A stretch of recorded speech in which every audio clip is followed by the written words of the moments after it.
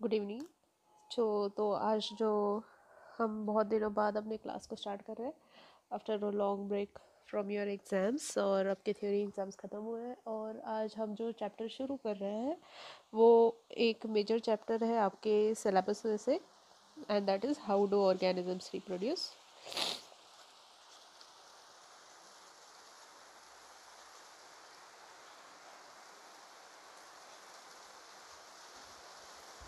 okay so how do organisms reproduce ये chapter जो है मैंने जैसे पहले भी मेंशन किया ये एक मेजर चैप्टर है। मेजर uh, चैप्टर होने का रीज़न ये भी है कि इसमें से आपको फाइव मार्क क्वेश्चन आता है इसमें से आपको वन मार्क क्वेश्चन आता है इसमें से आपको हर टाइप का क्वेश्चन आ सकता है। तो after life process this is one of the major topics chapters जिसमें से आपको फाइव मार्क क्वेश्चन जो और में आता है जैसे आपने अभी थ्योरी पेपर सॉल्व किया तो उसमें आपने देखा होगा कि मैंने भी उसमें जो क्वेश्चन डाले थे तो फाइव मार्क के लिए मैंने एक क्वेश्चन को दूसरा एक और क्वेश्चन डाला हुआ था राइट तो एक तो लाइफ प्रोसेसेस का क्वेश्चन रहता है और उसमें से दूसरा question could be from the life processes it like for example से रेस्पिरेशन का एक क्वेश्चन है तो एक्सक्रीशन का एक आ सकता है। या फिर उसमें आएगा एक लाइफ प्रोसेसेस में से क्वेश्चन और एक आएगा हाउ डू ऑर्गेनिजम्स रिप्रोड्यूस में से क्वेश्चन ठीक है? सो so, इस तरह से कुछ ये आपका क्वेश्चन पेपर पैटर्न के हिसाब से this chapter gains major marks into it okay तो वॉट इज़ रिप्रोडक्शन से स्टार्ट करते हैं ओके सो रिप्रोडक्शन को अगर हम देखते हैं so it is a process reproduction so process which keeps the life into continuation okay और we can say process by which organism produces more organisms of its own times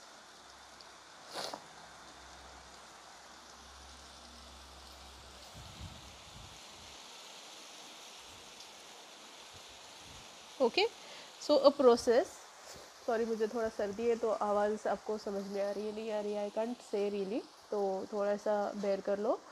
So the process by which the organisms they produce another organism which is of their own kind यानी कि वो खुद के जैसा नया organism बनाएँगे नया uh, से ऑर्गेनिजम्स और बनाएँगे which keeps the life in continuation okay या फिर विच से grows the life on the planet okay so एक ये एक one of the most important life process में हम इसको काउंट कर सकते हैं because reproduction is one of the most essential thing and it can define life non living things do not reproduce right तो उस उस हिसाब से अगर देखा जाए तो ये one of the very important life processes हो गया।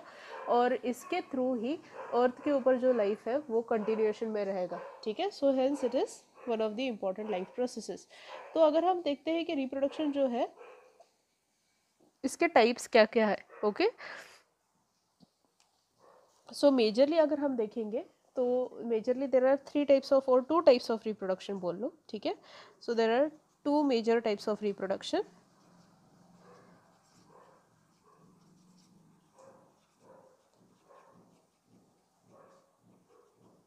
उसमें से एक आता है sexual reproduction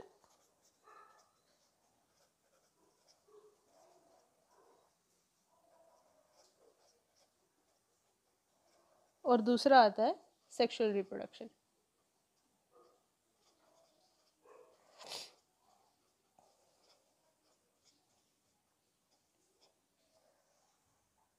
so when we talk about asexual kind of reproduction तो ये कैसा, किस टाइप ऑफ़ रिप्रोडक्शन है? So here only one parent is involve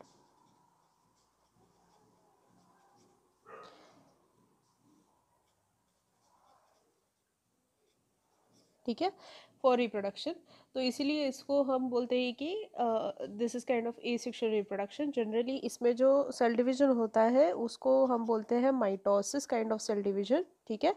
तो जिसके थ्रू यहाँ पर रिप्रोडक्शन होता है। और यहाँ पे गैमेट्स आर नॉट इन्वॉल्व ठीक है? अब गैमेट्स क्या है, वो हम बाद में और डिटेल में स्टडी करेंगे। तो गैमेट्स जो है दीज आर नॉट इन्वॉल्व और नॉट फॉर्म्ड ओके जबकि सेक्शुअल रिप्रोडक्शन में there are two parents involve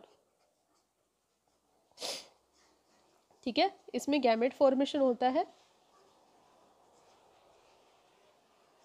और इसमें जो काइंड ऑफ़ रिप्रोडक्शन होता है या फिर सेल डिवीज़न होता है, उसको हम बोलते हैं meiosis kind of cell division ठीक है?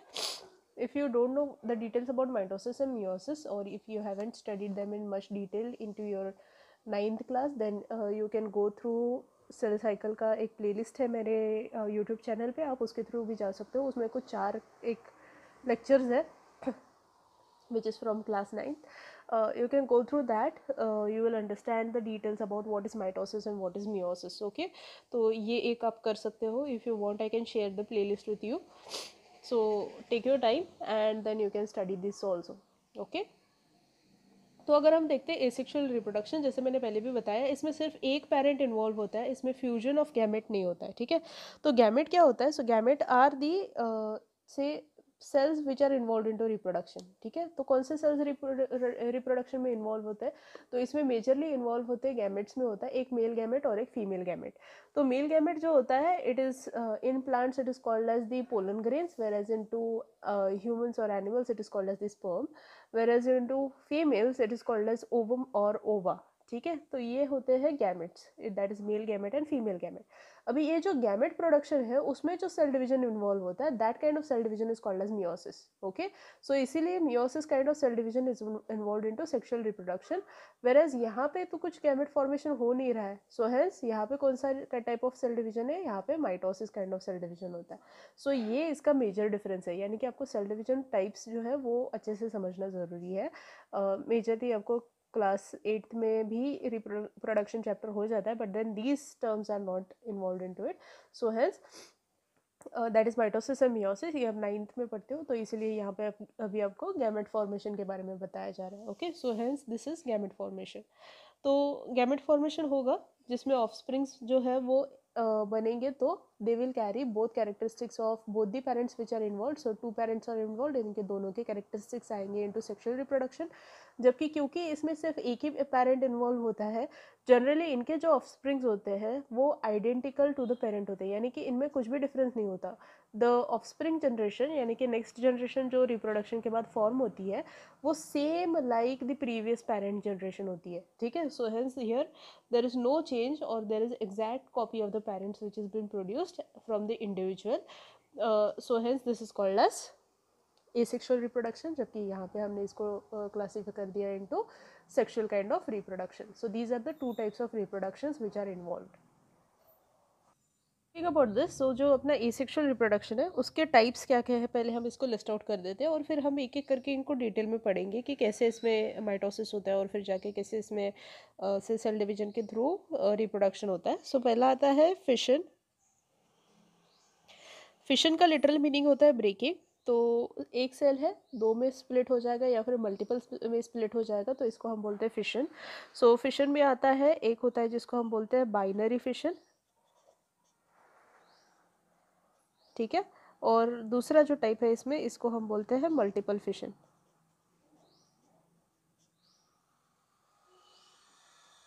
ठीक है? दूसरा जो है फिशन के बाद इसमें जो आता है वो है budding third one is fragmentation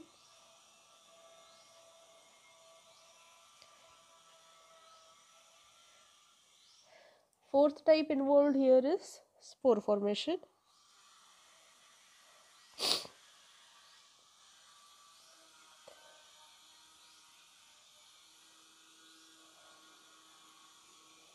Next is regeneration.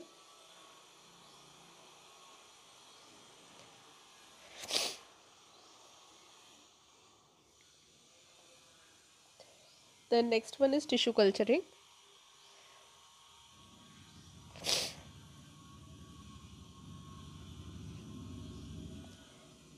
Then last one is parthenocarpy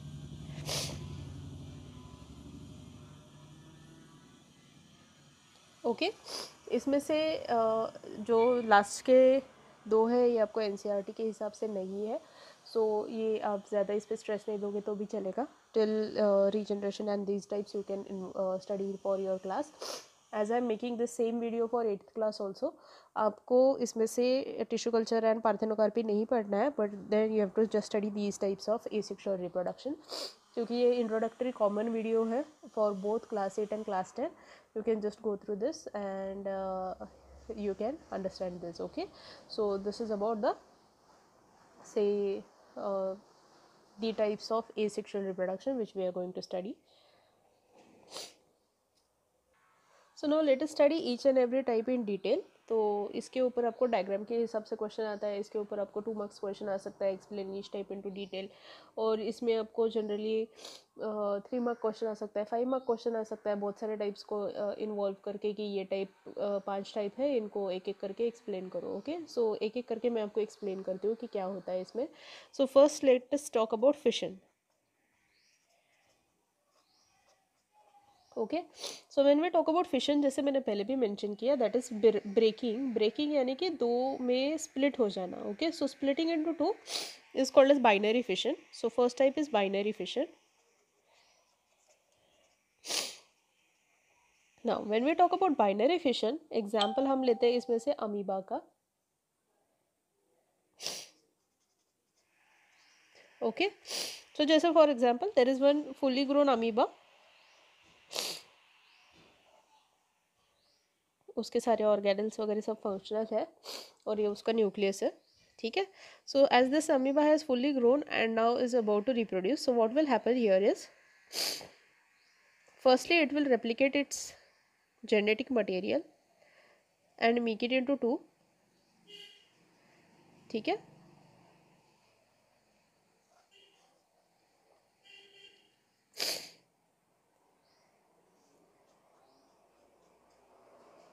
then दो न्यूक्लियस में वो खुद को डिवाइड कर लेगा सेपरेट जिसको हम बोलते हैं generally karyokinesis karyo karyon का मतलब है nucleus kinesis is breaking you studied this into cell chapter okay and then lastly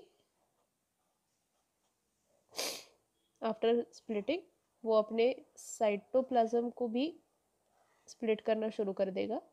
class eight में भी आपने अमीबा में नहीं तो बैक्टीरिया में तो बाइनरी फ्यूजन पढ़ा ही है ओके सो सेल स्प्लिटिंग को आपने ऑलरेडी स्टडी किया हुआ है। So this is not a new concept for anyone okay and then lastly once this cell splitting start through the cytoplasmic membrane ultimately we will get two individual amoeba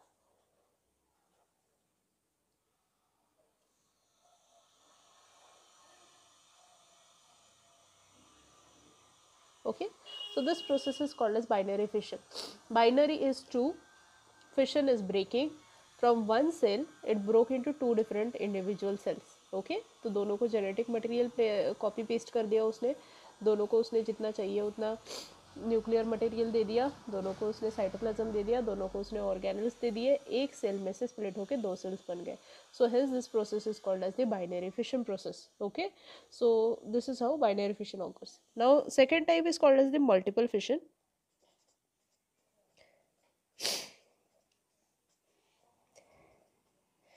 so multiple fission में क्या होता है?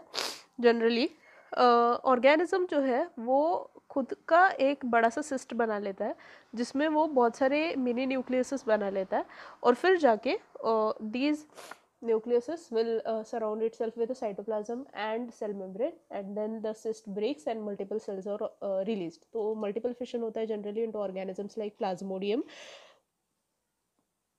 plasmodium is a protozoa जो कि malaria cause करता है ठीक है? तो इसमें मेजरली ये होता है। सो so, अमीबा का हम बोल सकते हैं कजिन भाई है ये ओके? तो प्लाज्मोडियम क्या करता है? So firstly the organism is something like this starts forming cyst around itself cyst यानी एक हार्ड कवरिंग ठीक है? और अपने न्यूक्लियस को वो मल्टीपल छोटे छोटे हिस्सों में स्प्लिट कर लेगा। अभी, जब भी ये स्प्लिटिंग हो रही है द ऑर्गेनिज्म मेक श्योर कि सभी पूरा का पूरा जेनेटिक मटेरियल सभी सेल न्यूक्लियस में जाए, ठीक है? क्योंकि आधा अधूरा जाएगा तो हमने ऑलरेडी इसको स्टडी किया है सेल चैप्टर में कि वो फॉल्टी हो जाएगा cell will not survive okay so it is very necessary कि सभी इंफॉर्मेशन सभी न्यूक्लियस में जाए okay then after making all of the multiple nucleus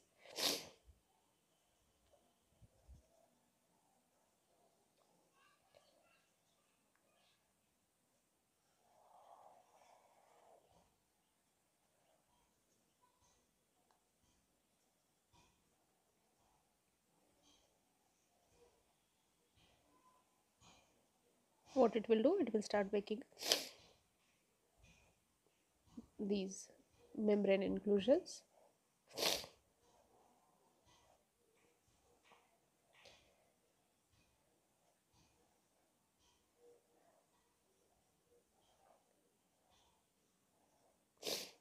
And after certain period of time the cystate opens breaks releasing all of these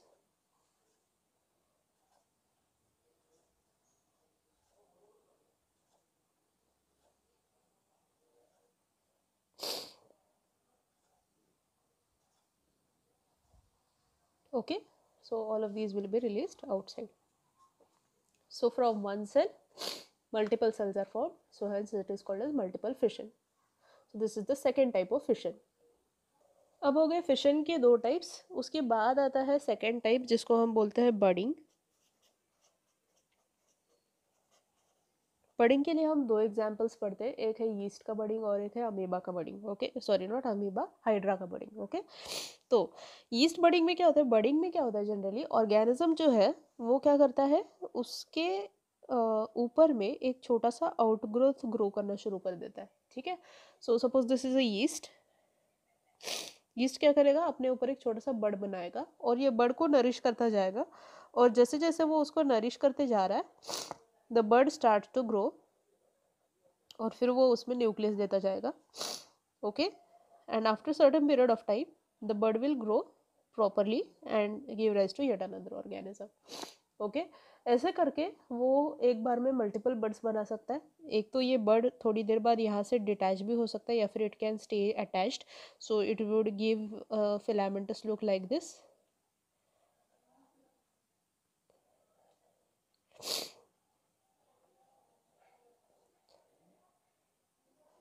okay और it can detach and form two और more yeast cell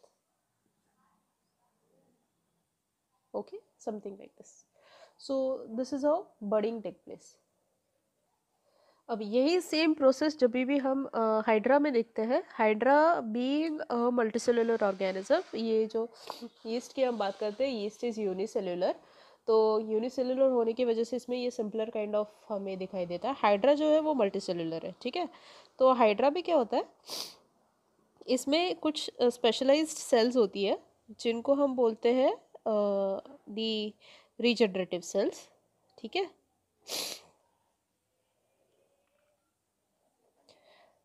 so this is hydra तो इसके body के ऊपर ये regenerative cells क्या करती है? दे एट सर्टन से area they start to form a bulge okay they get accumulated and they start to form a bulge like this ये हाइड्रा के टेंटेकल्स है okay and this then bulge starts to grow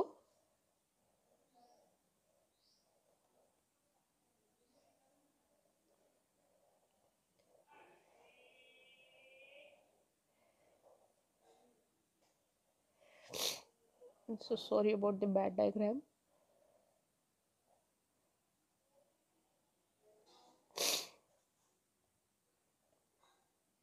And just as it grows,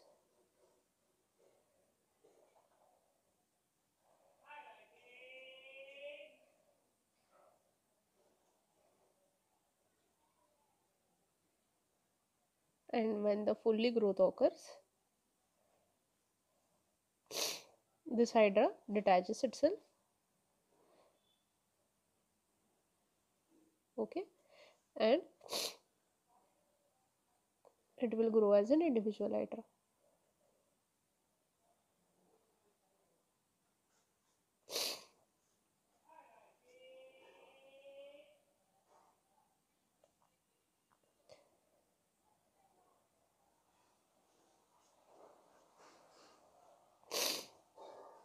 so this is how uh, say budding in hydra occurs uh, two hydra are formed from one bud uh, in previous parent hydra and then next hydra which is identical copy of its parent hydra okay तो ये थोड़ा सा गंदा diagram है आप इसको नहीं copy करना please you can refer to to this okay then the third type is called as the fragmentation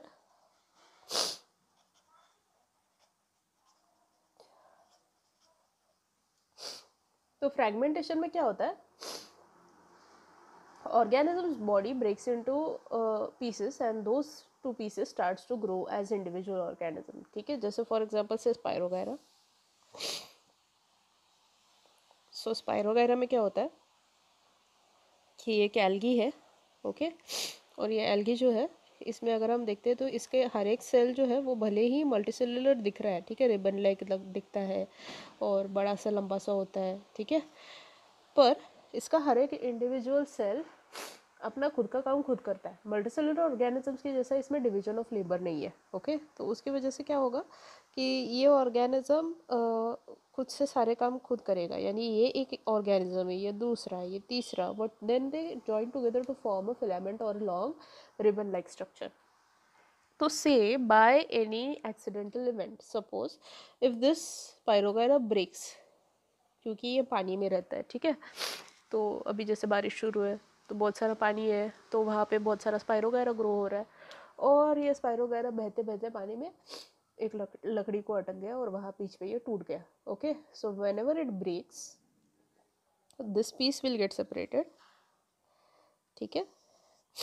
And this one will get separated now this will start reproducing from here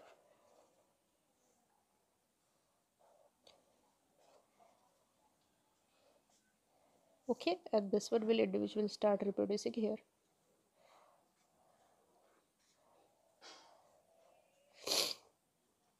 Okay so अभी एक से बन गए दो organism by splitting और fragmentation okay इसमें ध्यान देने वाली बात ये है कि कोई भी ऑर्गेनिज्म खुद से खुद को तोड़ेगा नहीं, ठीक है? सो एक्सीडेंटल इवेंट्स की वजह से फ्रैगमेंटेशन हो सकता है और से एनी इंजरीज की वजह से हो सकता है.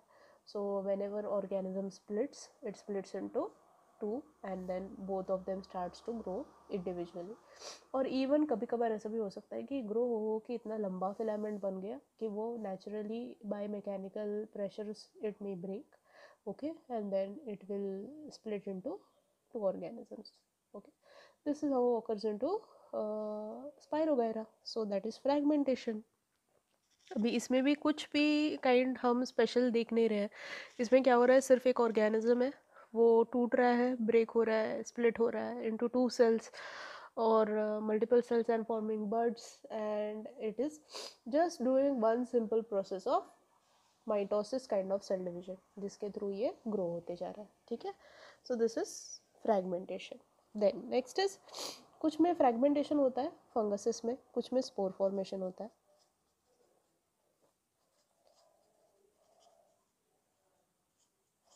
तो स्पोर फॉर्मेशन में क्या होता है? फंगस भी जो है, वो भी से थ्रेड लाइक फिलामेंटस ही होता है, ठीक है?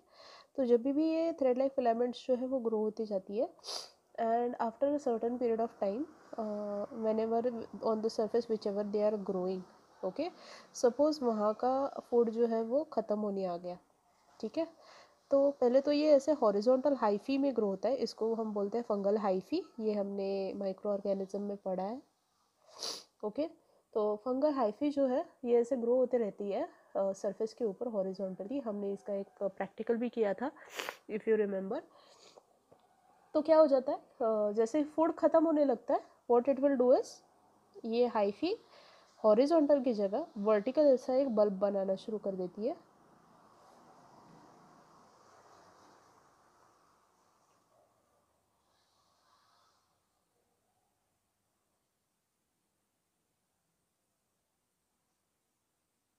okay.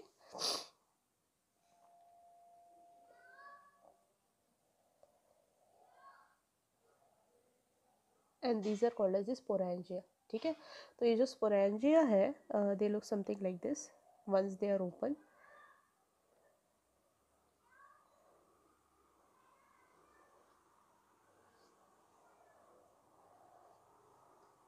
और इसमें रहते हैं spores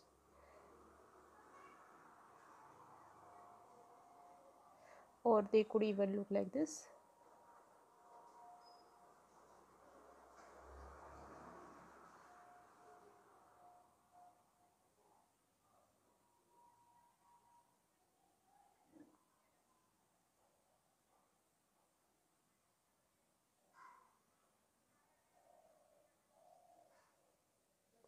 and these are the spores ठीक है? तो ये जो उसने प्रोसेसेस बनाई है इसको हम बोलते हैं स्पोरेंजियम्स ये जो है उसको हम बोलते हैं स्पोरेंजियम और इसके अंदर प्रोड्यूस होते हैं स्पोर्स तो स्पोर्स क्या होते हैं? Spores are same cells which form this hyphae okay और हाइफी बनाते ही आ, क्या होता है कि जैसे ही इसमें से फ़ूड और न्यूट्रिएंट नीचे से सबसे ख़त्म होते जाता है तो क्या होता है? ये अपना एक सेल ऐसा छोटा बना देता है जिसमें न्यूक्लियस को वो काफ़ी कॉम्पैक्ट बना देता है।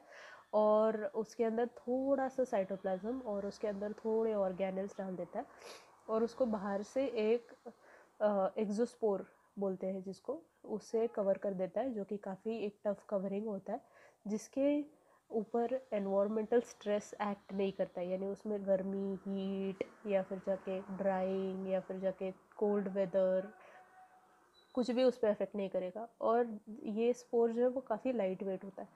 तो एक स्पोर इज़ इक्वल्स टू एक सेल uh, हम बोल सकते हैं। It can give rise to one colony of fungus तो ऐसे स्पोर्स बहुत सारे फॉर्म कर लेंगे। और ये बहुत सारे स्पोर्स जो है जैसे ही हवा आती है उसके साथ उड़ जाते हैं। और उड़ने के बाद they reach into different areas और इसको जब तक हेल्दी एनवायरमेंटल कंडीशन नहीं मिलता तब तक ये कहीं पे भी पड़े रह जाते हैं और जैसे ही उसको हेल्थी एनवायरमेंटल कंडीशन मिलता है जहाँ पे मॉइस्चर है वार्मथ है और फ़ूड भी अवेलेबल है they absorb the water swell and become a fungal hyphae and grow ठीक है? तो ये तो हो गया फंगस के बारे में spore formation spore formation can also भी सीन इनटू बैक्टीरियाज तो कुछ बैक्टीरियाज जो है वो क्या करती है? अपने साइटोप्लाज्म को into adverse conditions it concentrates and forms something like this suppose ये रॉड शेप का बैसिलस था. तो ये अपने न्यूक्लियर मटेरियल को कंडेंस करके एक बाजू में ला लेती है। साइटोप्लाज्म को एक बाजू में लाना शुरू कर देती है और फिर कुछ टाइम बाद it turns into something like this ठीक है, इसको बोलते हैं bacterial spore okay so these are different spores which are uh, formed into adverse conditions by different kinds of organisms ये भी kind of asexual reproduction है इसमें भी एक ही parent involve हो रहा है कहीं पे भी आपने दो parents का हमने अभी तक नाम नहीं दिया हुआ है ठीक है तो this is also kind of mitotic cell division